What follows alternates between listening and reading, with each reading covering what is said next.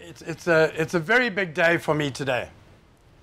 It's a year since I had my second heart attack, which was the 11th time I should have lost my life. I have no idea why I have been spared, but I have been. My life has taken many paths. It's a very rich tapestry which I will share with you because Suzanne said I must tell you about myself. And as I said to her this morning, beware of what you wish for. but it's a big, big day for two reasons. In the Sunday Tribune this morning, there's a double page spread about Brian's Art SA, which is the company that Jenny and I have formed to sell easels, to sell bags and to sell art cleaning materials, and hopefully my art. It is also the first time that anybody has ever asked me to speak in front of a group about my work. So I'm exceptionally grateful. A year ago, I was in a very, very bad place. I was living in an environment that I can only describe as quite cruel, which I thought was going to be a place of great harmony for me. And I had this heart attack, and I survived it. I had a BP of uh, 236 over 147. Yep. It was my second one because the first heart attack happened on August the 29th, 2012.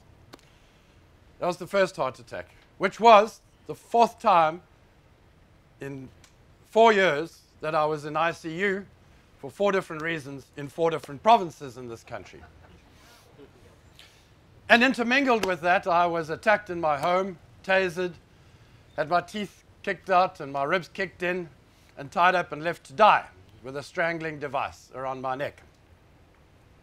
But I'm a tough old bugger, and I got out of that, and I survived it.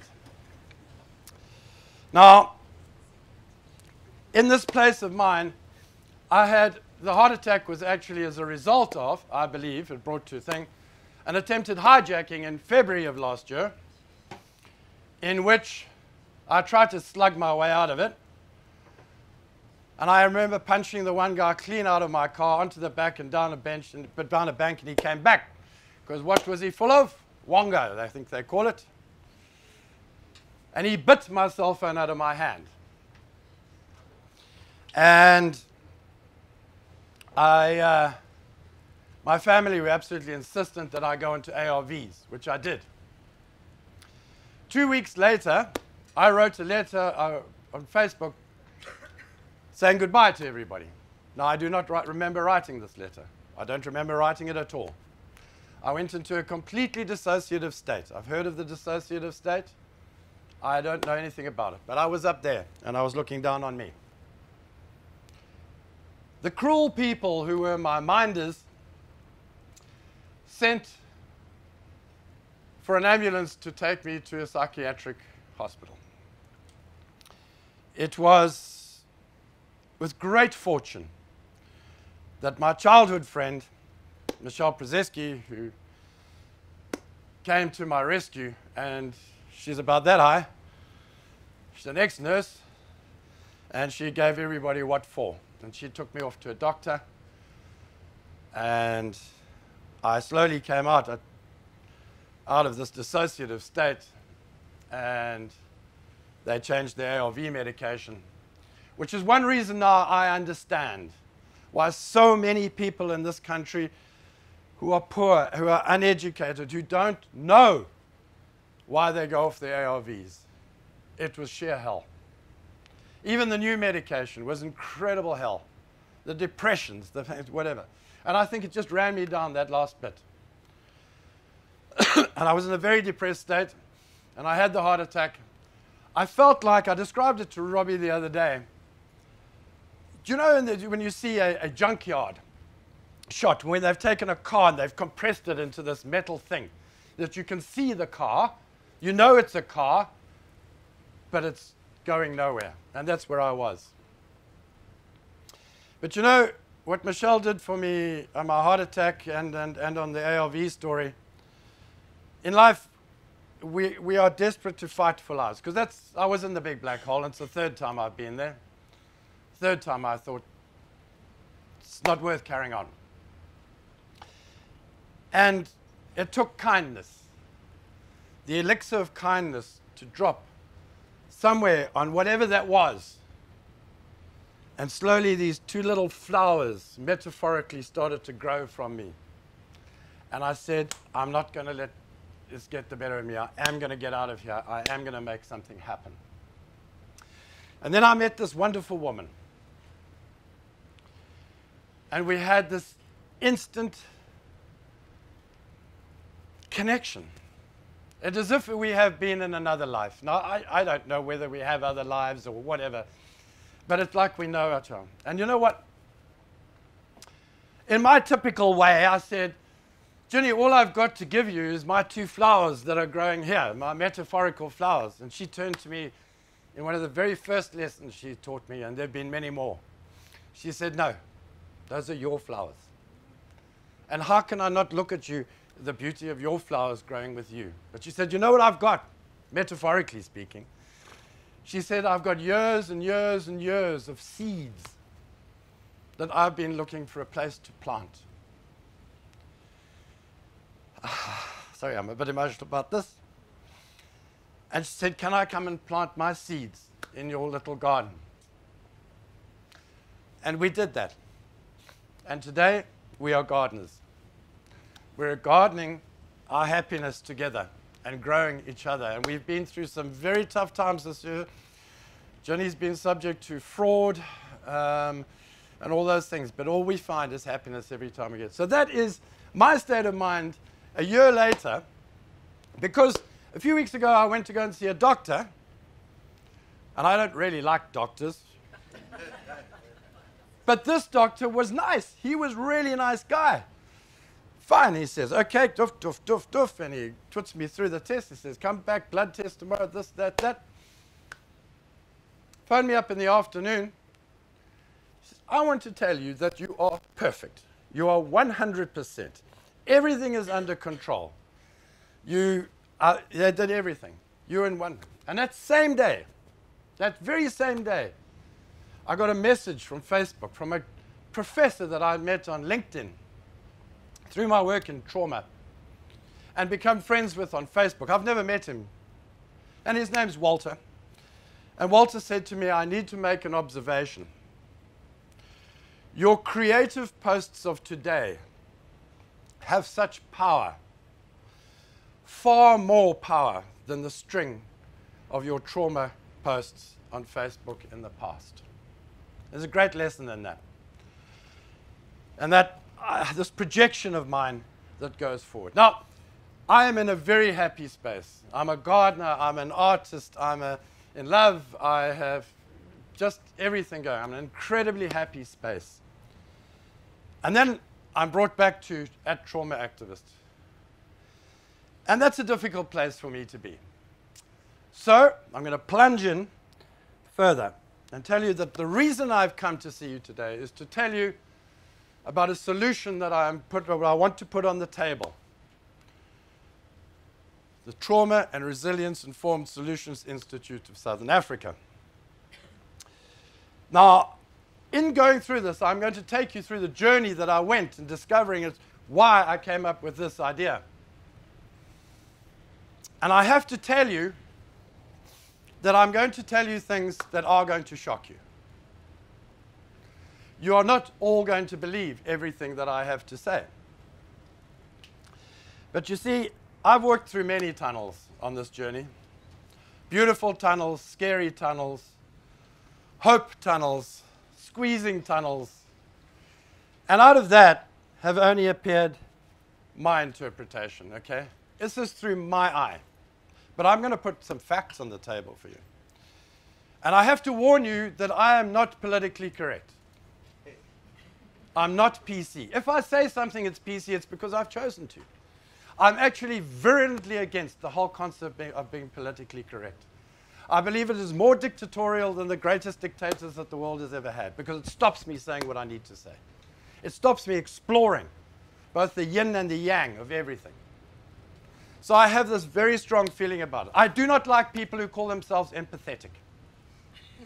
because my argument is that empathetic people come there with their view of empathy, not of what I need. And they come and they say, Oh, I'm so empathetic, and tomorrow they are gone. And I actually had a long, this is where I met Walter actually, a long online debate the, with the guy on LinkedIn who's supposed to be the world's top guy on empathy. And he climbed into me. He gave, gave me hell. And then the post started coming from other people saying, well, how can you be empathetic if you can't listen to Brian's point of view? How can you be empathetic? It was a very interesting thing. So I, I, I don't. I don't like people who tell me, say, oh, you can't walk in their shoes. You can't, you, if you've not walked in their shoes. Let me tell you, where I've been, I do not want you to walk in my shoes. They're smelly. They're old. They've got my holes in them. Your feet aren't going to go there. And how do I know you're not going to put lice in my shoes anyway? So I don't like people who say that. So I'm not PC, okay? All right? So if I say some stuff, and I know there's some stuff that's going to shock you, it's only because I really believe it. And I really believe that the knowledge has to get out there. My inspiration for my work. On the 31st of August, I had my first heart attack on the 29th. On the 31st of August, I was in ICU and I decided that, that being the 10th time I had nearly lost my life, and it was very close. I could only move my foot when the paramedics got there. I had three stents put in, one of which was a double. Three arteries had collapsed completely, and one was barely working. I had a wonderful, wonderful surgeon. Most blessed. um, and I decided that I would not lo- live to be 60. Now, I'm telling you, I'm going to be 60 in three weeks' time. I decided then and then, there was no way. There was no way. What I'd been through, I could not live to be 60. And I threw myself into understanding, trying to understand trauma and from my journey. And I found this very, very inspirational. Now, I'm, I'm sure you can't all read it, but it's the Minister of Health, Aaron Motsoaledi. I don't know how long he's going to be the Minister of Health for, because he has uh, spoken up against our president. But from everything that I have learnt about this man, I just wish he'd had an easier ride in our healthcare and that he did not have so many challenges. But he said he wanted greater awareness, better planning, and a move away from the hospice centric approach to the treatment of mental illness. That is what the rest of the world wants. And yet, and yet, our medical establishment attacked him for this. He said, we must examine how mental health can be integrated into general health care and particularly into primary health care. Now, I know that there's one man sitting there, right there, who is tuned with me, and I don't know any of you. I just hope our ecologies come together somehow on this. But uh, the body, the body is everything. The mind is just a consequence of the body. Since being with Jenny, when I, when I first moved in with Jenny Jalahan, I weighed 96.5 kgs. I could not walk around the three acre property. I can tell you that I now feel as fit as I was when I was 40 and probably better. And I have lost, what? I'm 83.6 kilos or something this morning. And I haven't had a special diet. It is because my body is doing things, it is in harmony, it is great, and my mind is now clear. And I think Mr. Motsoaledi was dead right. He then said another thing because of their condition, mental health care, healthcare users are often voiceless. Damn right we are. Damn right we are. There is no, no place to go. Nothing. Because I will take you through the two big organizations, SADAG and uh, South African Mental Health Organization. They put themselves out as advocates of uh, mental health care. But you try and speak through them. Not a chance. They control everything. They're in absolute control of the marketplace. The psychiatrists, the psychologists, the thing. They are the control. and he said, it's critical we both give this group the space to voice their needs. Thank you for giving me my space today, Suzanne. The other important thing that I learned, and this was right at the end of, actually after I'd written TRISI, which I completed in November of last year. I read this from a sixth year, a sixth year medical student.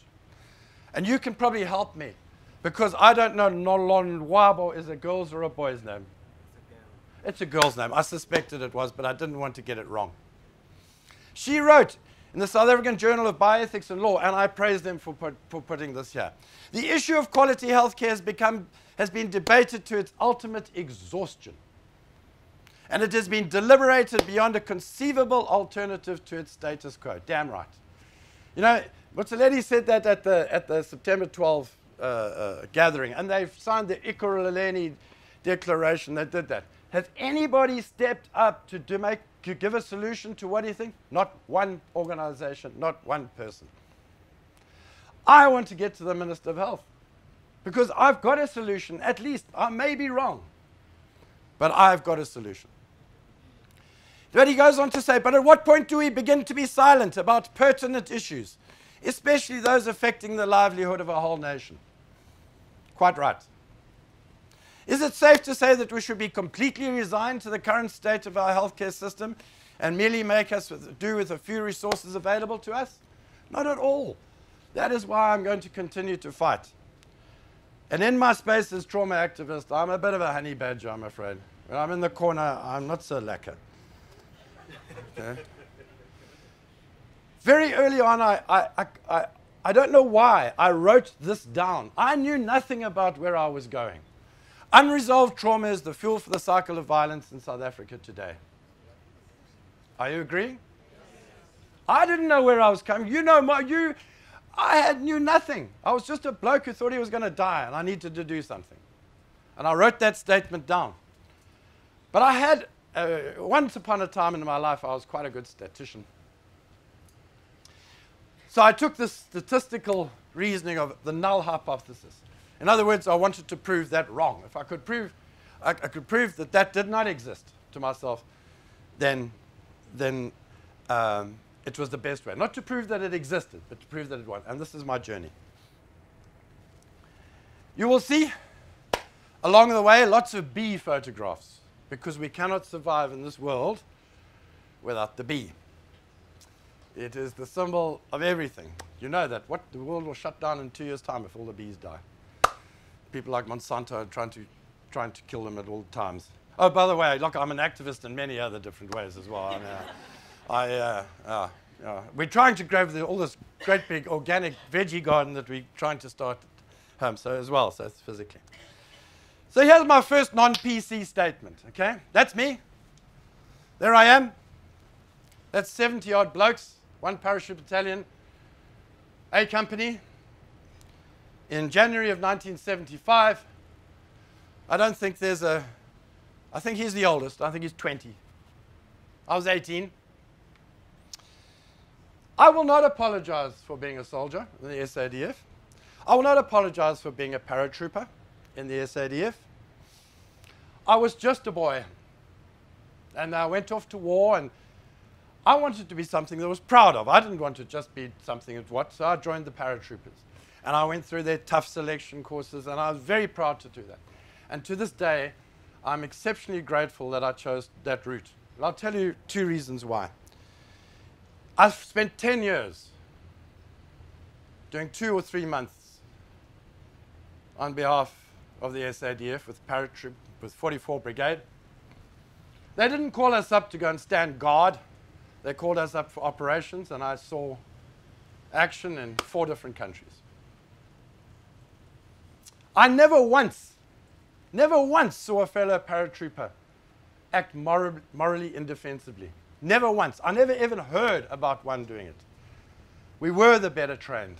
We were the best people. We were the people that they wanted to not behave incorrectly. We were also trained to be disciplined soldiers.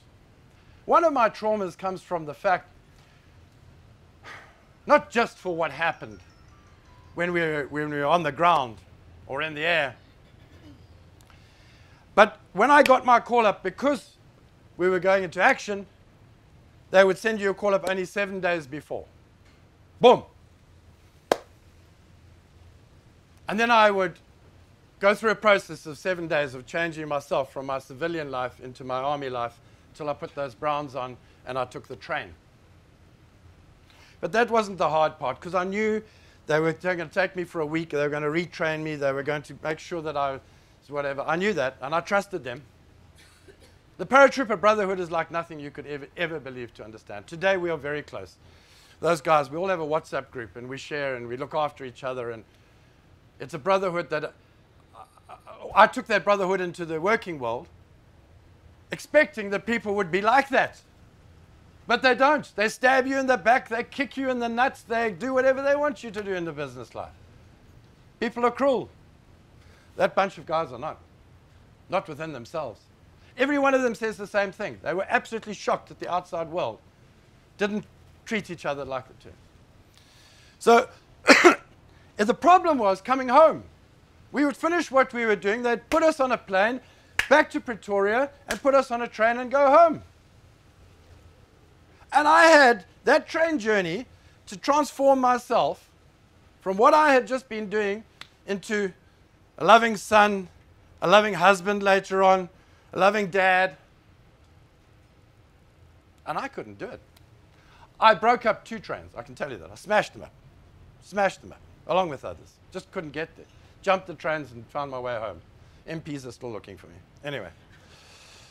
Okay, so that's where I started with PTSD for soldiers. So that's where I started. And I started my search and I worked through all of that.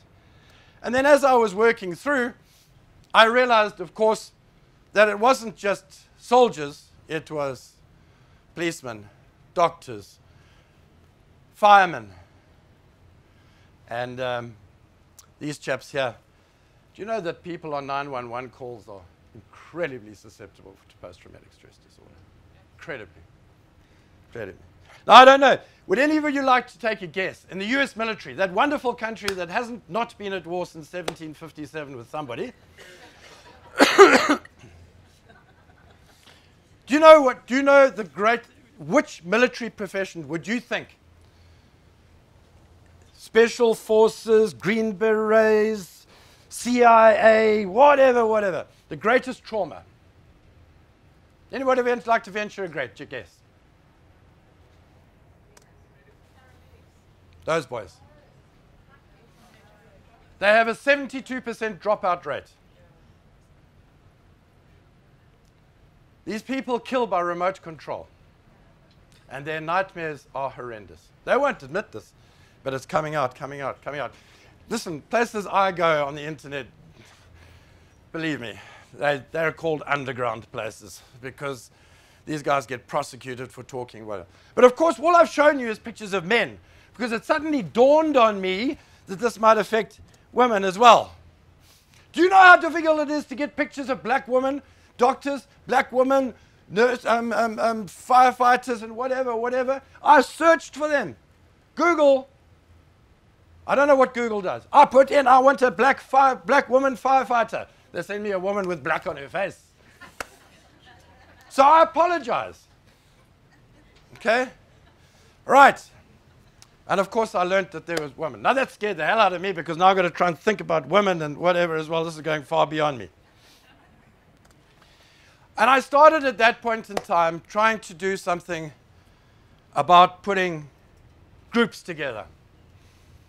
And I came up with this concept of road walker, buddy care. You can find my buddy care website. It's been dormant for some time now because I'm, I'm afraid I reached a point when I helped a suicide in Canada, ex-military man, over a period of 18 hours and talked him out of killing himself and finding out why he was killing himself. Of course, he had been subscribed medication that was uh, uh, side effects. Uh, side effects were all of them were suicide. So he didn't know whether to take, he was telling me he didn't know whether to take the pills or shoot himself, which one it was, and I, whatever. And um, I then, fortunately, have some information about medications. And I pointed this out to him and I saved his life, but it, it cracked me. Uh, I'm not cut out for it because I, I too have got too much in my life. But this is the idea that I put up, and it's still out there if somebody wants to pick it up. And it says, I am your road walker. I don't have to be a psychologist, psychiatrist, whatever. I'm just your friend. I'm your road walker. I walk just behind you. I cannot walk your journey for you. But if you ask, I will step up and walk beside you for as long as you wish and as long as I can. And I can tell you that today, that when people get in touch with me, that's the first thing I send them. And very often they say, Thank you, that's enough. Just to know that somebody is there when I need them. So, that was the first part of my journey that I'd got to in this buddy care stuff, but I'm still studying. I'm still trying to find out. And then I looked at the depth of trauma and how far. And I learned a lot of this thing. That says you can't read it. Fuck historical trauma. We survived all and every act of genocide. I learned about historical trauma. I learned about community trauma. I learned about cultural trauma. I learned about witnessing trauma, which I will get to shortly. I learned about moral injury. I learned about betrayal trauma. Have you heard of these concepts? Every one of them is intensely written about. This thing says, yeah, and uh, this is what I went through in, over a year ago. The saddest thing about betrayal is it never comes from your enemies, it comes from your friends. So, I will just talk to you about witnessing. There's only been only one study ever done of any magnitude in South Africa about PTSD. It's about 4,700 people. That was about all it is. But the most, the most important thing that came out of it, piece, I think I'm losing my, lost my battery here. Witnessing, 50% of people within their, within their scope, the trauma had come from witnessing events. Now think about it. Think about those townships. Think about those kids and what they see every day. It's daily. Think about those farming communities. What they see and they hear from each other. Witnessing is one of the worst things. You know, um, uh, anybody heard about critical incident stress debriefing? Anybody practice it? Don't. Don't. Because critical incident stress debriefing was brought to the world as this wonderful thing to do immediately after an event. And it involves sharing your experiences when you are vulnerable. And this prefrontal cortex is far more powerful than our amphibious brain. So people who had not seen the head go through the window, ah, oh, check, you all know, you're all thinking about a head flying through the window, right?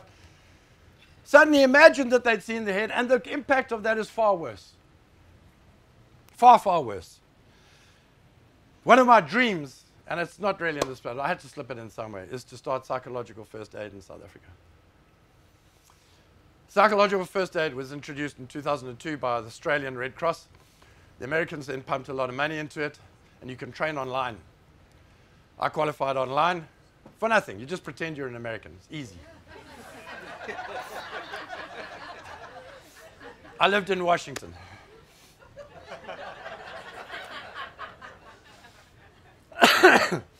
um, and I'm certificated and everything. And I put together something in Cape Town, and I put some psychologists and some social workers and some teachers and whatever. We did the whole course then again together, and then we put another whole course. But my life went off track, so I, I never got to take it further. But here's an interesting thing.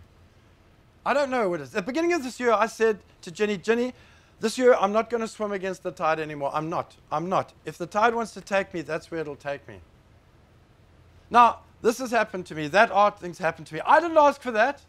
I did a presentation to a group of artists like yours. This is my easels and whatever. And Liz Clark, the journalist, came out and said, hey, hey, hey, I'm putting you in the newspaper. Here we go. I was adjoined to a group, and I didn't know why.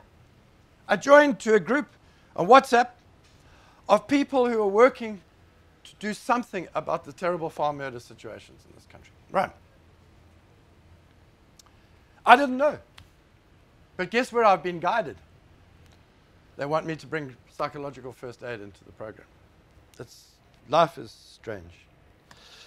What I did learn is that these boys, my mates, who I talk to every day there, that's Prusky there. He's got a big nose and the ladies love him. Ah! ah, he's a wonderful chap. But all of these guys, as I explained to him, and sadly some of them are no longer with us, but suffered moral injury of war. It was the morality aspect. Because most of these guys, they might be boilermakers, they might be, some of them are scientists, some of them are all sorts of different things, but they all had one common thing. There was a, they did pick you to make sure that you had a moral conscience of what went on and how it was. And all of them also feel a sense of betrayal. Because that group of people were sent in in 1975. 18 years old I was. They put me in a tent.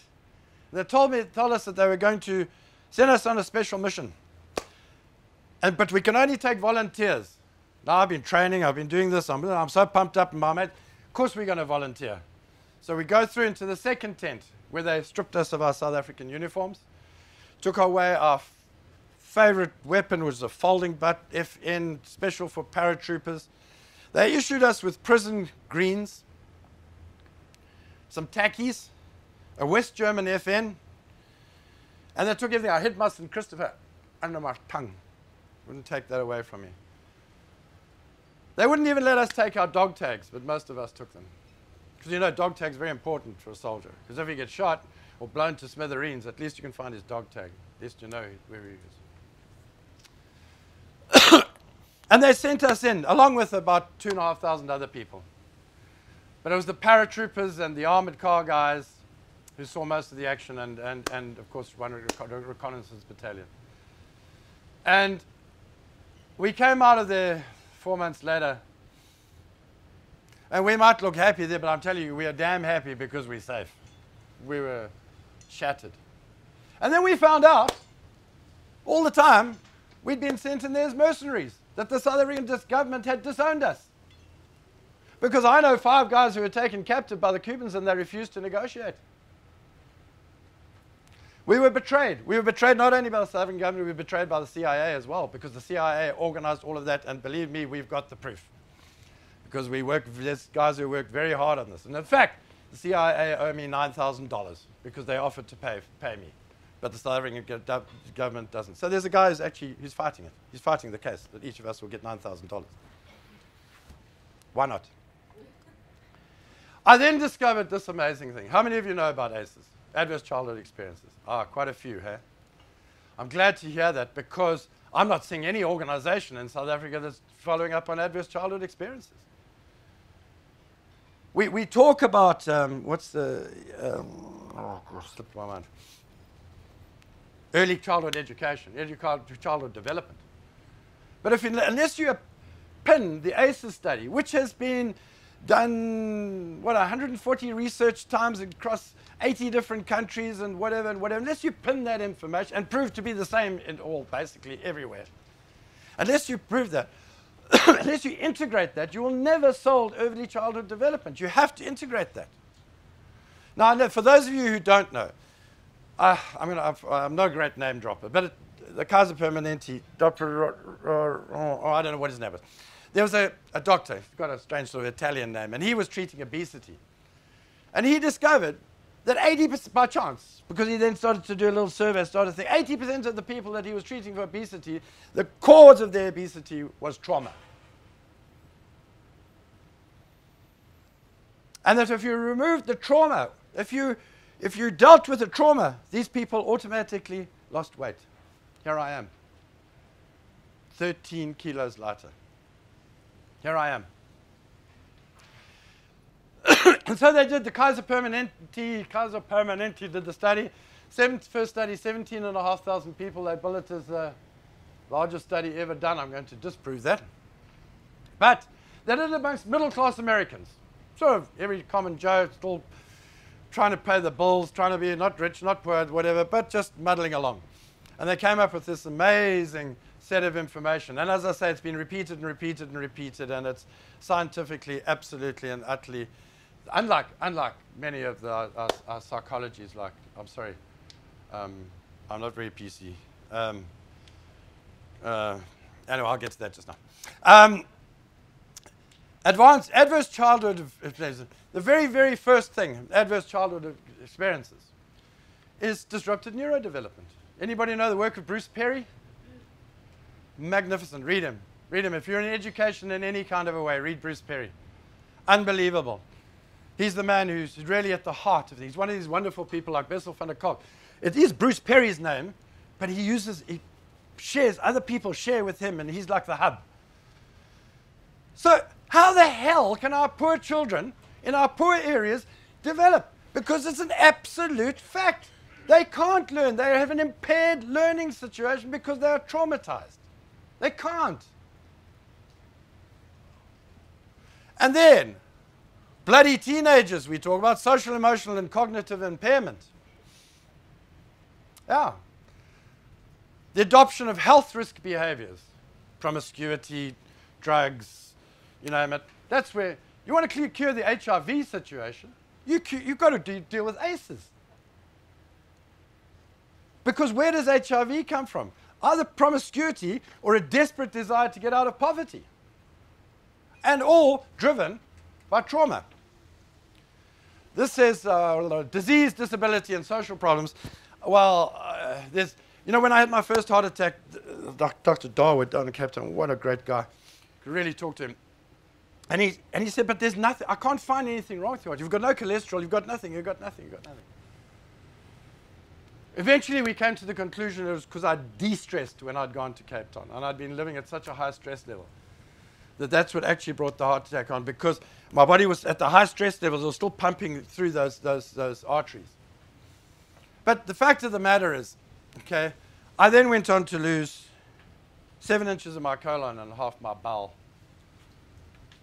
And I'd been to see a doctor, and uh, I, I, I had a problem called diverticulitis, stress related if you know diverticulitis, diverticulitis, whatever you want to pronounce it. so I had this problem. And I said to him, it's diverticulitis.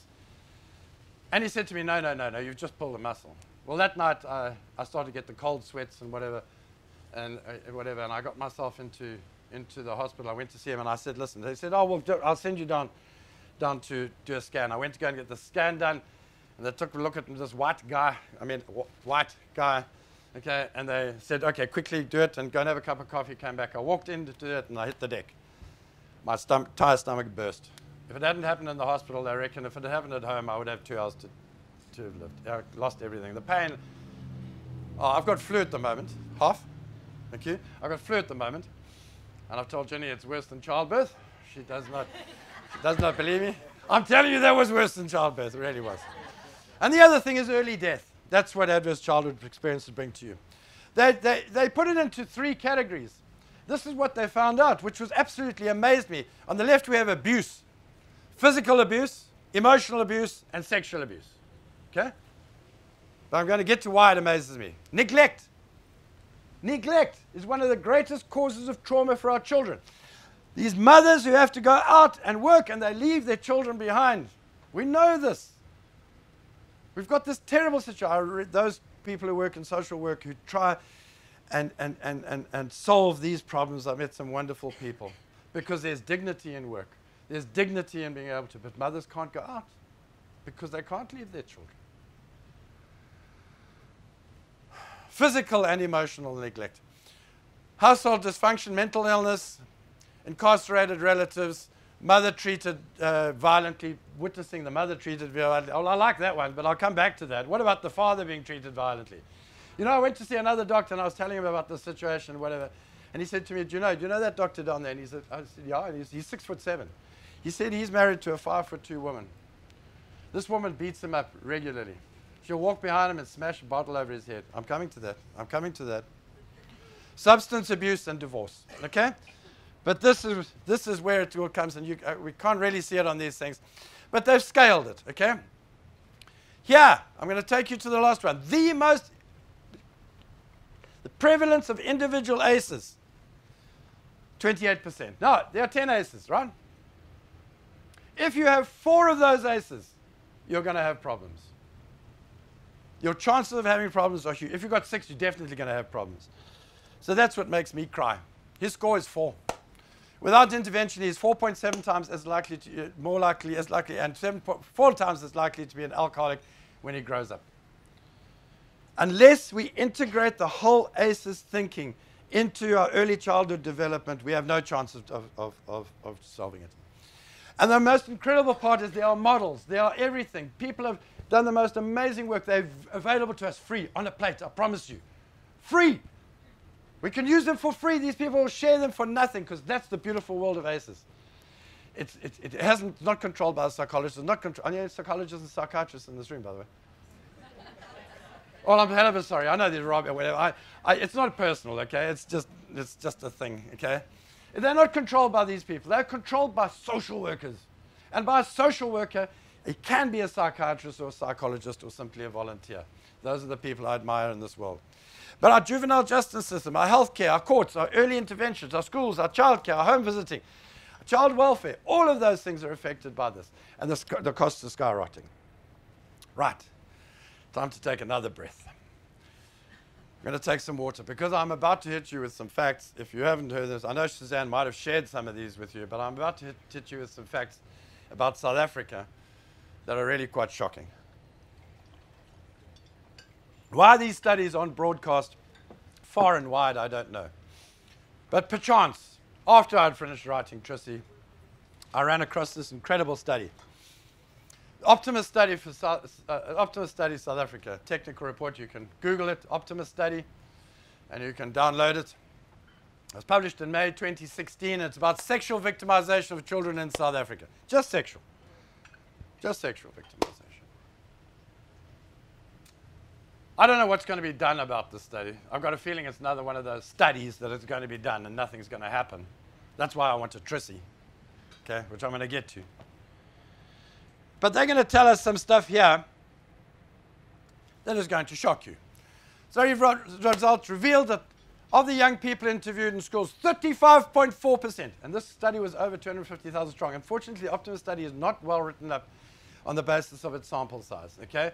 So I can't, and I, and I like to know what my, the sample sizes are. 35%, that's one in every three young people had experienced some form of sexual abuse at some point of their life. One in three. One in three. Sexual abuse. Only sexual abuse out of all those cases. The differences between males and females reported rates of abuse were not as stark as this, in this South African study as there have been in other studies And except, unfortunately, all the list of the studies that they have done has missed out another one, which I'm going to show you, which is going to shock you. That boys were found to be slightly more likely than girls to report sexual abuse. I'm telling you, folks, we have been PC'd into believing that violence against women is the only thing we have to look at. Uh, we will not solve the problem of violence against women until we solve the problem of violence against little boys. Because it is in the male that the hormones are there that take out the reaction then later in life against the woman. These twisted people. It's going to shock you all. I'm going to shock you more. Okay, this is only one of the very few figures that are available to us in this country about quantifying it. They talk about a, a KPMG study that found the economic impact of violence against women in South Africa to be 28.4 billion and 42.4 billion. So let's call that 35 million, billion, right in the middle. And because of violence against boys, let's lump that 70 billion, okay? That's what it costs us annually. But they hadn't heard of this study. It was done by Neil Andersson and Addo Foster. They're doing a lot of these studies around the world. They're very well known. It was completely and utterly squashed. The South African journals would not publish it. I've researched this and whatever, they wouldn't because the results are too shocking. Too unbelievable. So the objective was prior to 2007, forced sex with male children in South Africa did not count as rape, but as indecent assault. You couldn't be raped as a boy a much less serious offense. This study sought to document prevalence of male sexual violence among school youth. Now, they are professional, very good. There was a total of 269,000 learners who were, I think this is rather large, rather large sample size, I think. About half of which were males. Let's just call it like that. Now, here we go. Of those aged 18 years at the time of survey, 44%, higher than the Optima study, said they had been forced to have sex. To have sex. We're not just talking about sexual assault, to have sex. We're talking about boys in their lives. And 50% had reported consensual sex. Perpetrators were most frequently an adult not from their own family, followed closely in frequency by other school children. Some 32% said the perpetrator was male. 41% said she was female. And 27% said they'd been forced to have sex by both male and female perpetrators.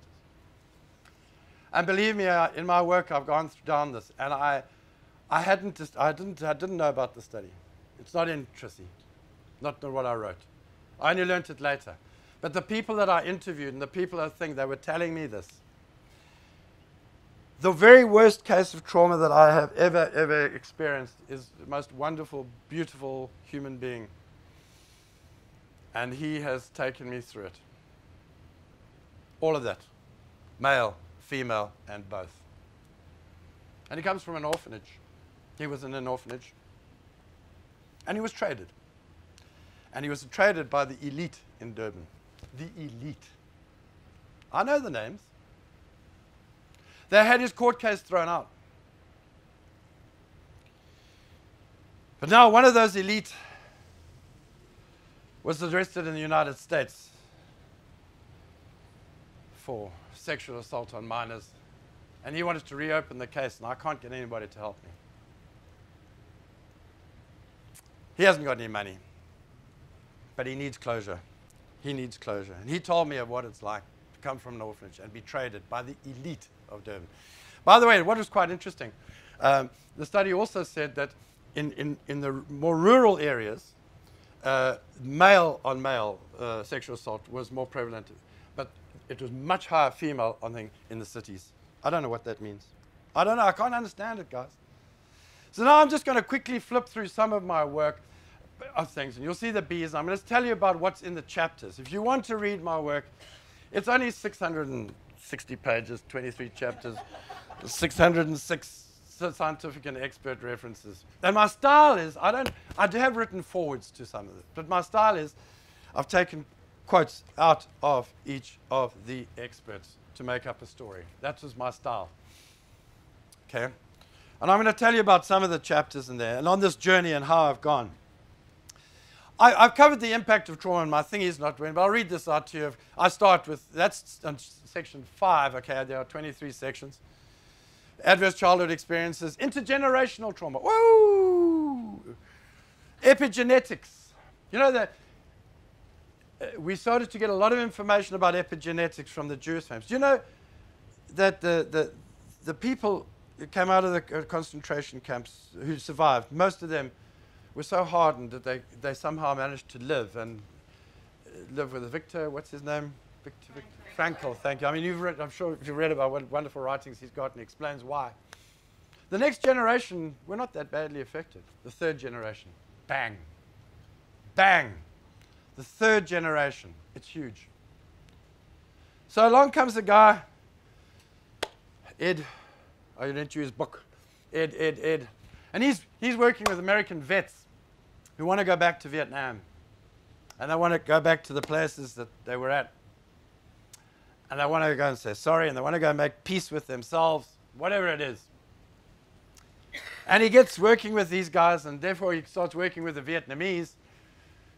And now he's working with the Vietnamese. It's called Soul Repair, his book. And guess what he discovered? The third generation of Vietnamese are completely and utterly traumatized nation. I will say to you folks that we've been living in this country for a lot longer than bloody apartheid. We've been living in this country for 175 years with trauma. I have a friend who, who has collapsed. She's a doctor, lovely, lovely, lovely lady. She's an Ashoka fellow. She's um, Dr. Nobs Mwanda. She is just absolutely awesome, and she gave up her, her doctor's practice to start something in, in Soweto. And Orlando West. She believes that 75% of Orlando West are severely traumatized and absolutely linked to intergenerational trauma. Absolutely linked to intergenerational. Trauma. Their grandparents raped their children. It, it goes back generations and generations. That isn't because they're black people, it's because of their, what built up, and then it gets passed on. Gets passed on from one to the other. Do you know your DNA can change? I mean, people don't know this. Your DNA changes. So the DNA that I was born with, little Brian was such a happy little chap. They used to call me Fatty. I, although I was as skinny as a rake, they called me Fatty and lived with me till I was about 16. What I've went through, my DNA has so changed. I thank God I can't have children. Thank goodness I can't have children anymore. Can I, Jin?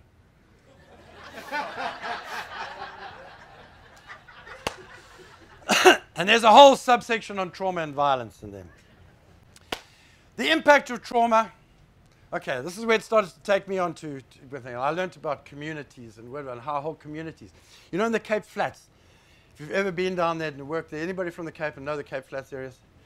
There are some communities where there is no trauma. It's very, very limited.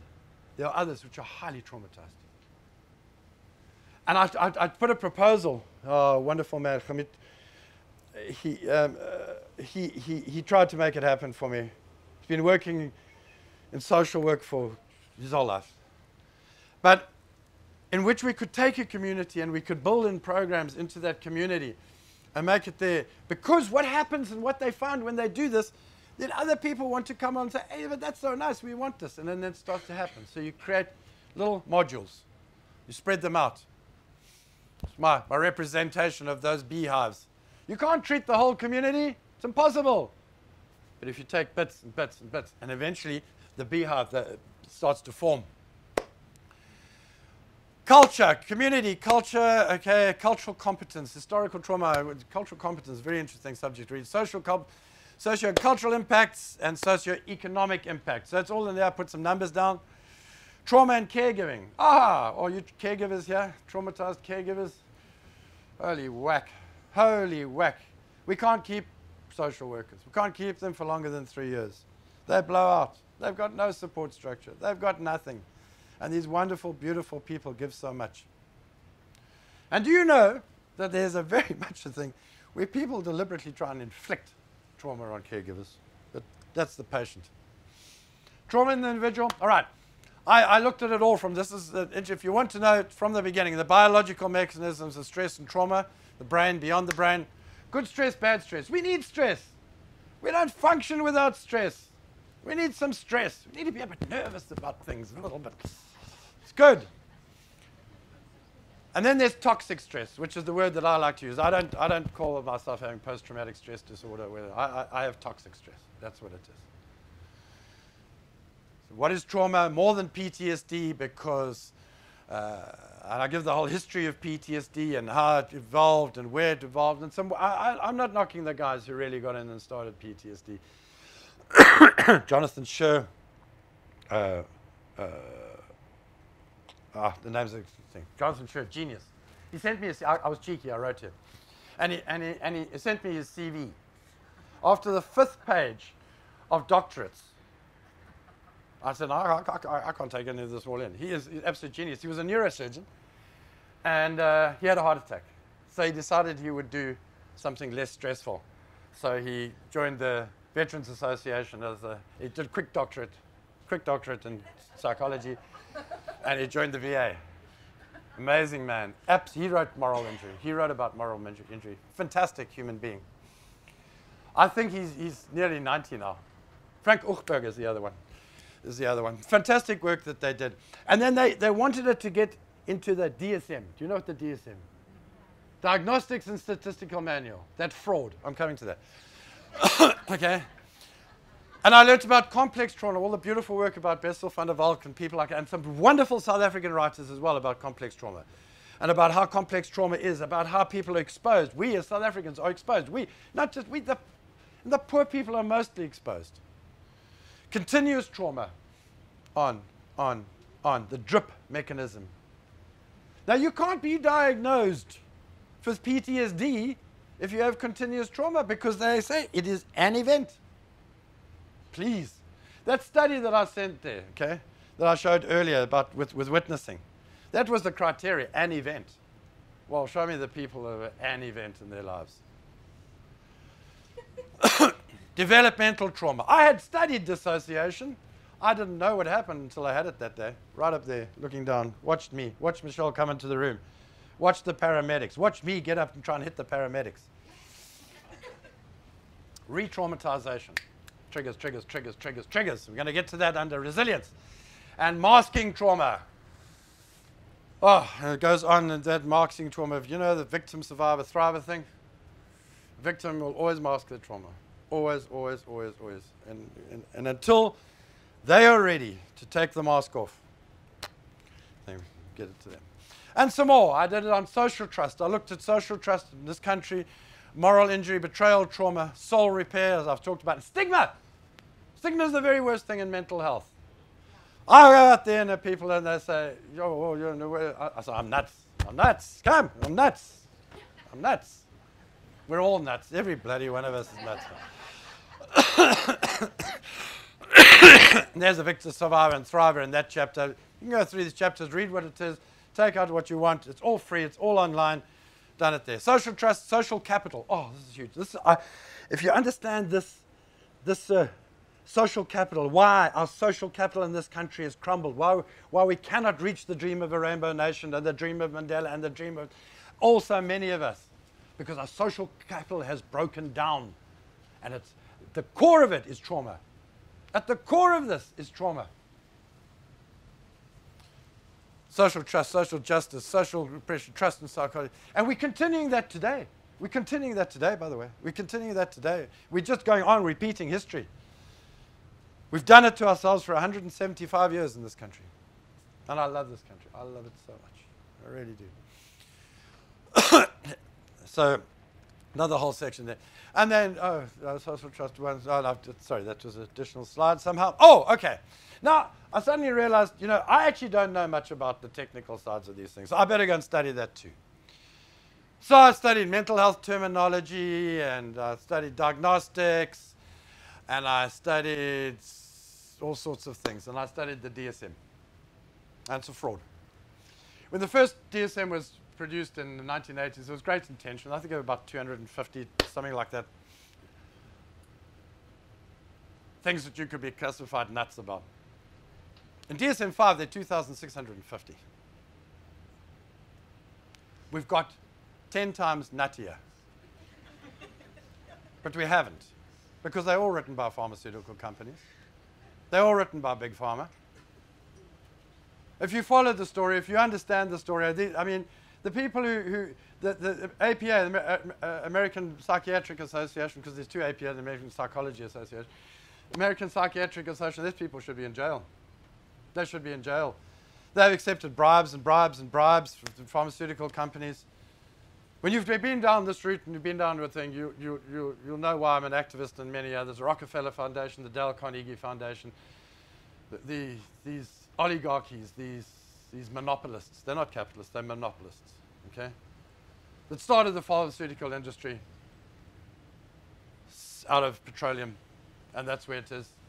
And that most of these drugs, when you look at the placebo effects, some of them it's even more important, and how they bribe them through the FDA, and the FDA, the CPC, and the EPA, all revolving doors. doors. It's uh, people come from business, they become chairman, and they go out and go back into business. All revolving doors. They're not independent bodies.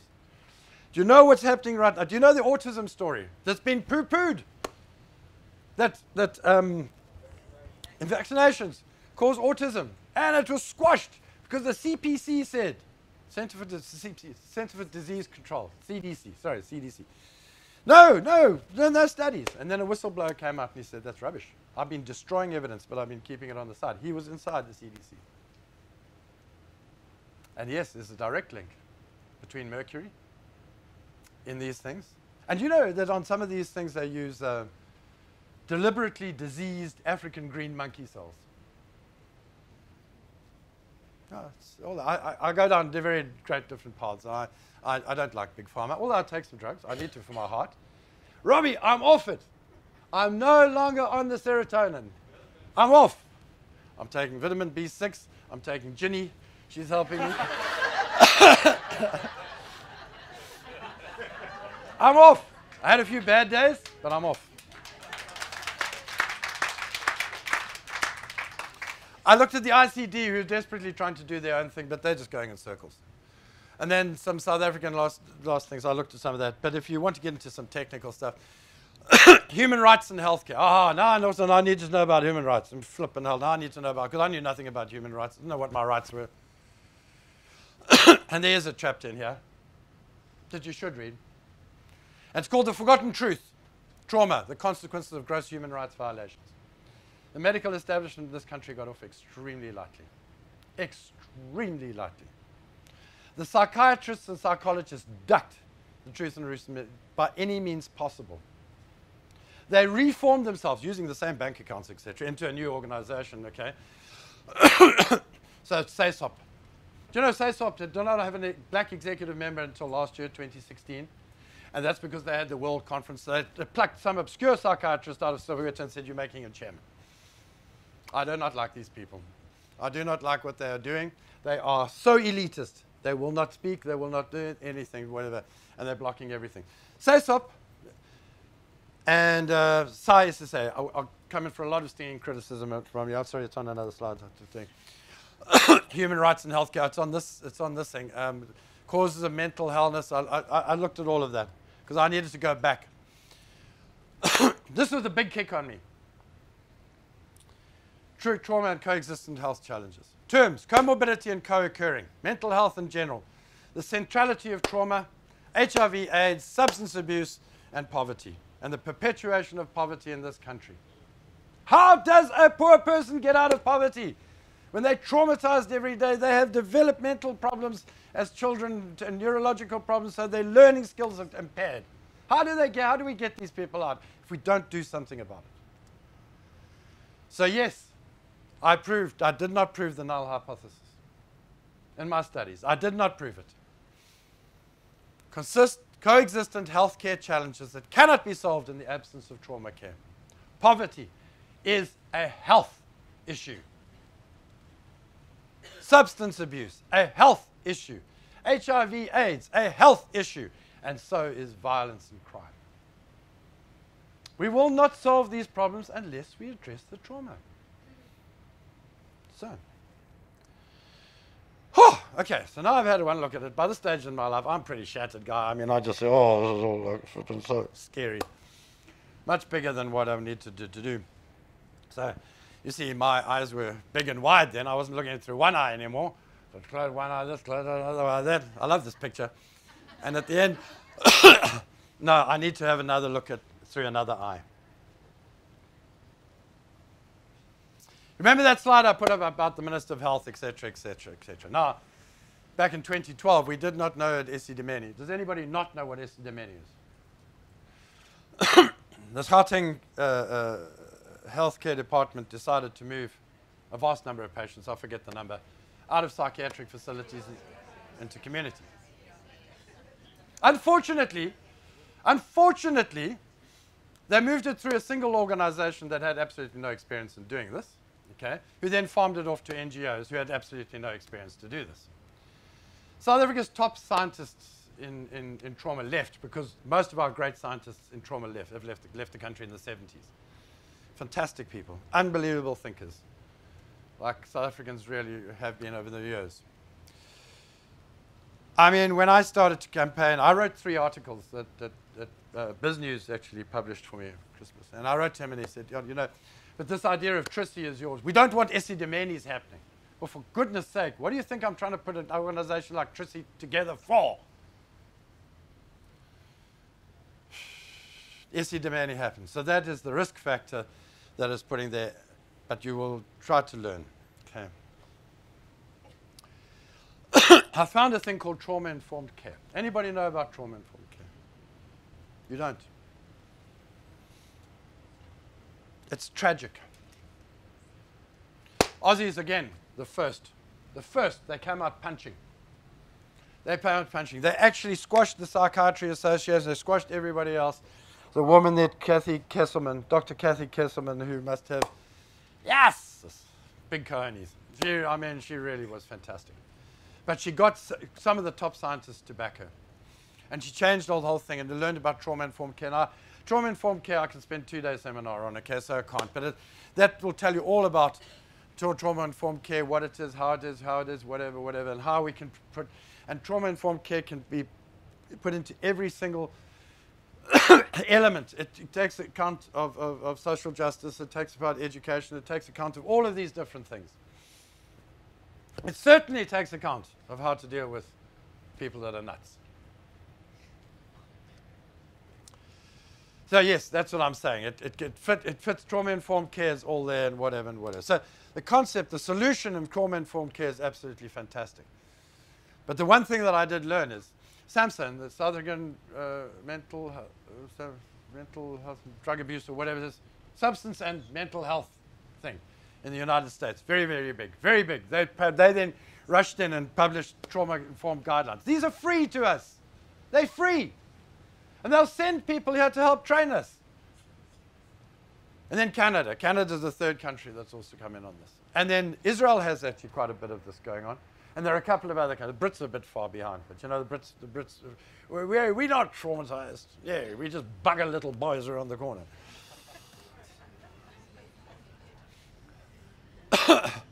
and then I learned about behavioral health. And, I, and, and to me, our structure in South Africa is so wrong. So wrong. This is our integrated primary care. I'm going to take you through what behavioral health risk. And I think the best way to sum up behavioral health is that mental health is the biology of the individual. That's what the psychiatrists say is mental health, because that's the DSM. Do you notice the courts don't quote the DSM anymore? Huh? They don't. It's been so ridiculed. If you, if you were watching Oscar's trial, the DSM, Gerrie Nel started to bring DSM, and then somebody sent him a note, and then and the next day he didn't introduce it. no, he didn't. He didn't, because you can slay it. You can absolutely slay it. It's a money-making racket. but behavioral health consists of all of these things. It's biological and it's environmental. It involves trauma-informed care.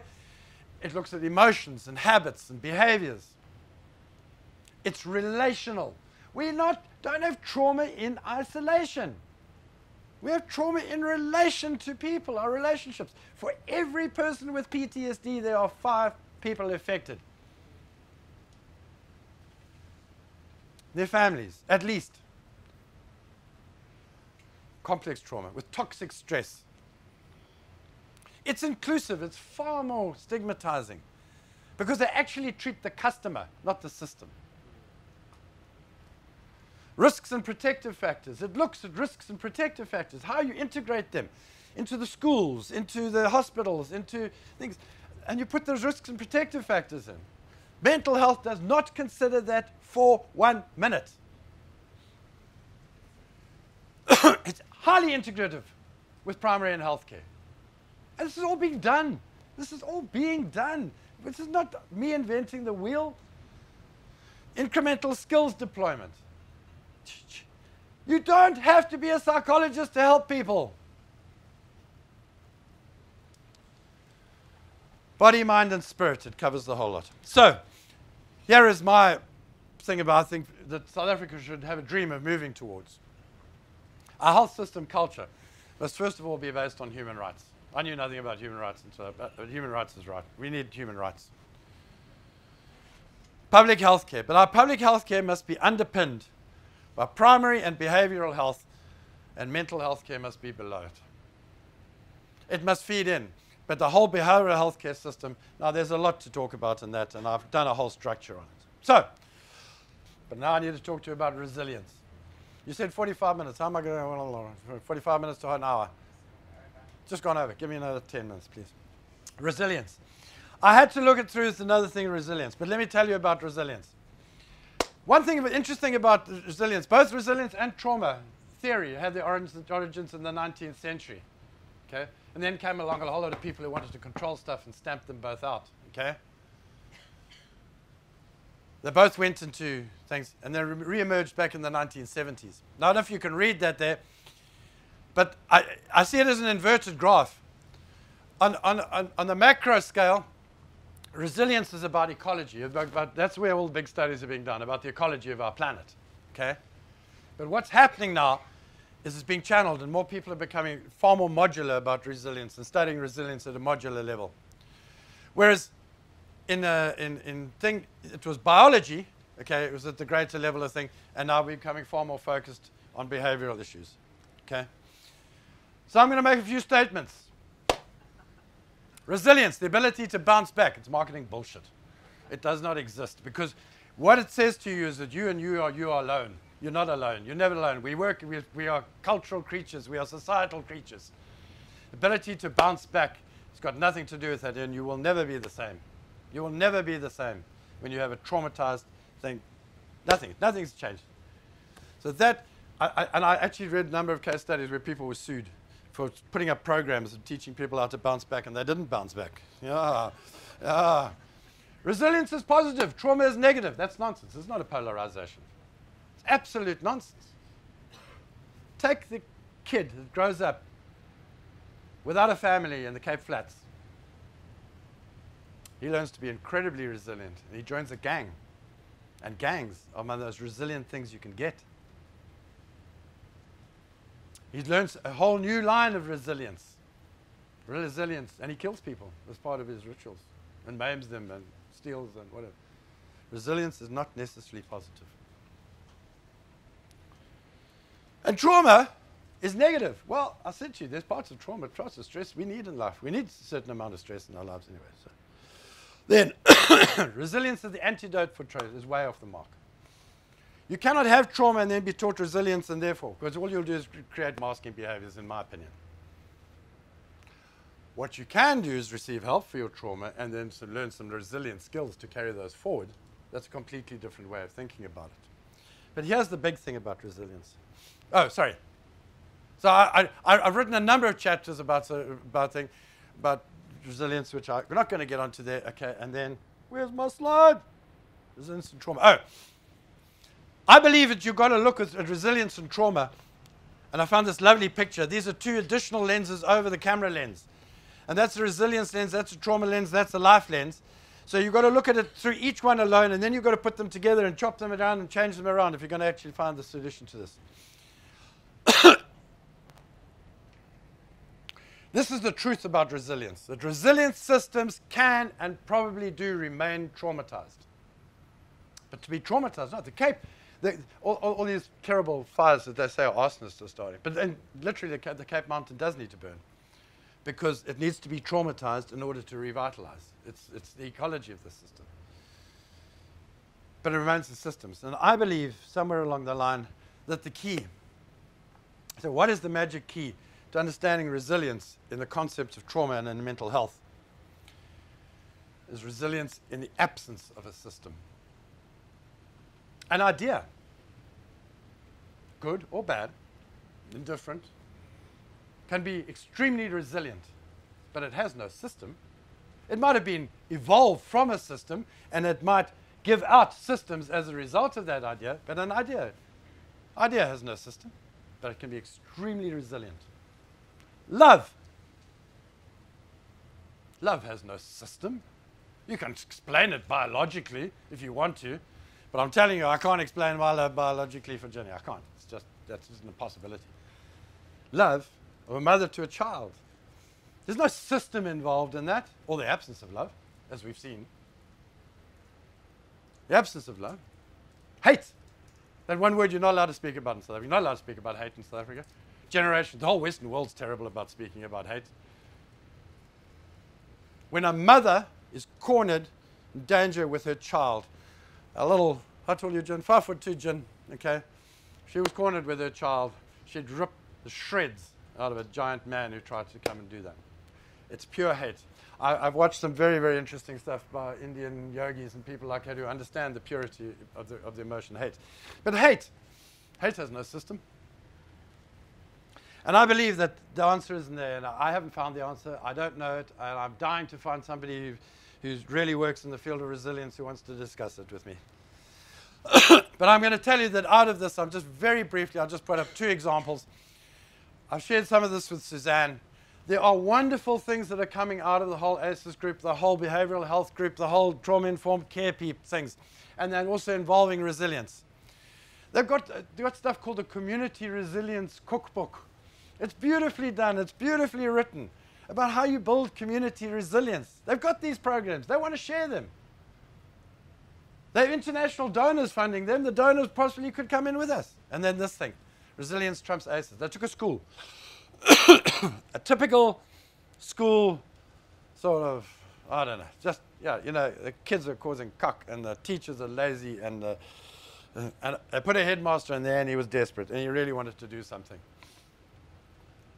And they put this program in and, it, and, and, and they, they got these people in and whatever, and it's absolutely, they did, the, did it all totally scientifically and how they changed it. And it's a card game. It's a card game about resilience. And they taught the kids how to play the card game, except that in the second year, the kids started to teach them how to play new card games with the same resilience packs. And the kids took the resilience packs home and taught their parents. And their parents said, My word, this is unbelievable.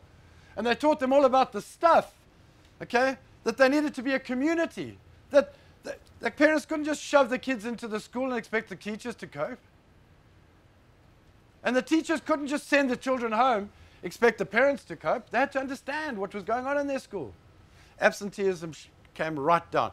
Marks, grades improved. It's all been scientifically done. It's another thing I'd love to bring to this country, into our education system. So finally there, I need to get onto very quickly onto TRISI. I'm going to skip that slide, that slide. Customer, you can't see this, okay? But there are four things. I believe that I've identified all I think people are customers that, that could be required, um, uh, that would be there. And that, so I have a four-legged table. Trauma-informed care, behavioral health care, customer care, and resilience-informed care for my things that, that, I've rested TRISI on and its explanation. Now, I can't keep telling you, but I, I, have, I have written it. That's the TRISI organization, TRISI the domain social impact statements. I've written solutions focused. Matrix management is the chosen system to run it, which is the same thing as the World Health Organization has brought in because of this doctor from the Far East and whatever who, has got it all jacked up. And, uh, and how well it's working within the thing, matrix system. I'm not going to go through it all. We don't have it. And I've covered how to, how to. And I'm not going to go through those things, but it fits and integrates into my model there. And it's on a matrix system that that explains, but I don't have the time. But I've also gone into how you should finance this. I'm not an expert in this stuff. I'm desperate to find somebody who's going to help me, who knows about money. But I found impact investing and how it's taking off overseas. Impact investing. And that says uh, um, uh, no returns, that's high returns, low impact, high impact.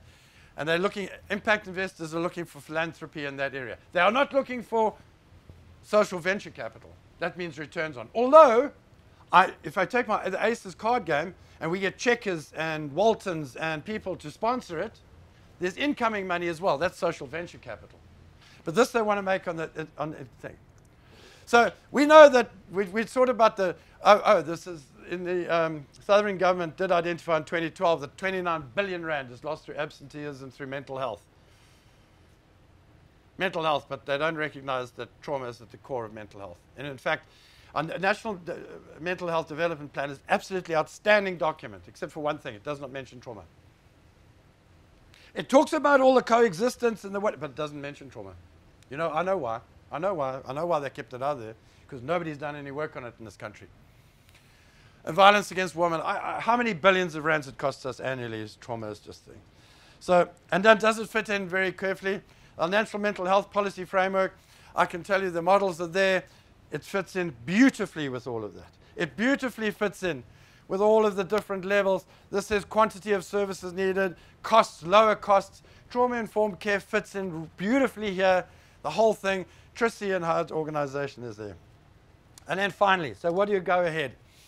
Well, I love this statement. The only difference between stumbling blocks and stepping stones is the way in which we use them. I love that. I absolutely love that.